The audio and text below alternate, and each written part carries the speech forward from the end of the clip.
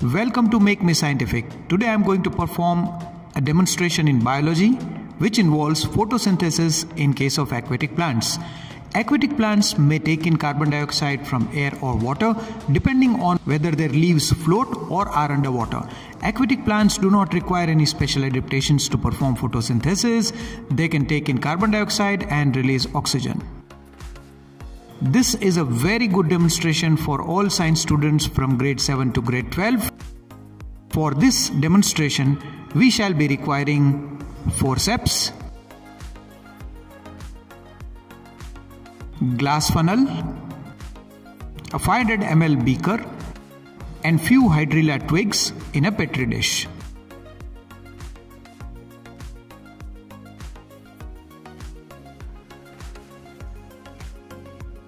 Hydrilla, also known as water thyme, is a genus of aquatic plant.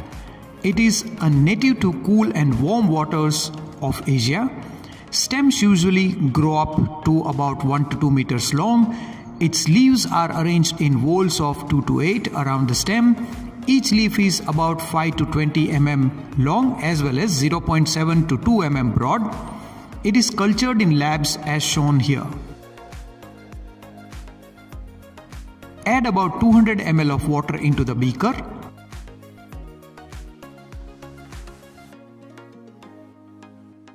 With forceps, place the hydrilla twigs into the funnel as shown.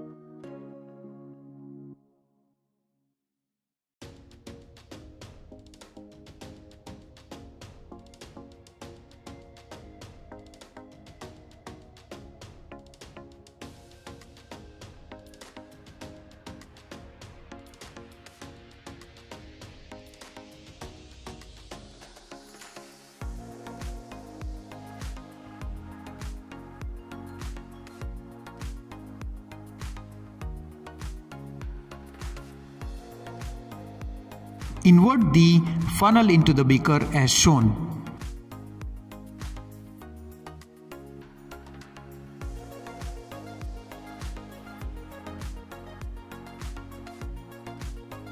Photosynthesis is a process used by plants to produce starch in presence of carbon dioxide, sunlight and water. Photosynthesis is a slow process so we have to be very patient for oxygen bubbles to come out. After 3 hours, we are noticing large number of bubbles gathered on the inner side walls of the funnel.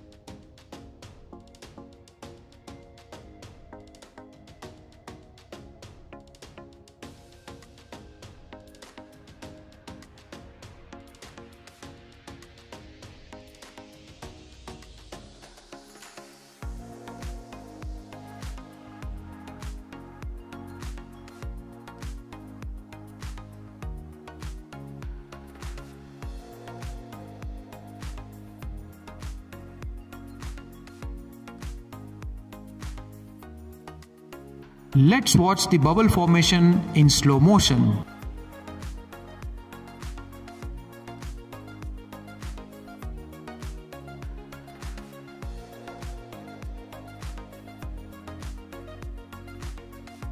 I hope you have enjoyed the experiment. Thanks for watching.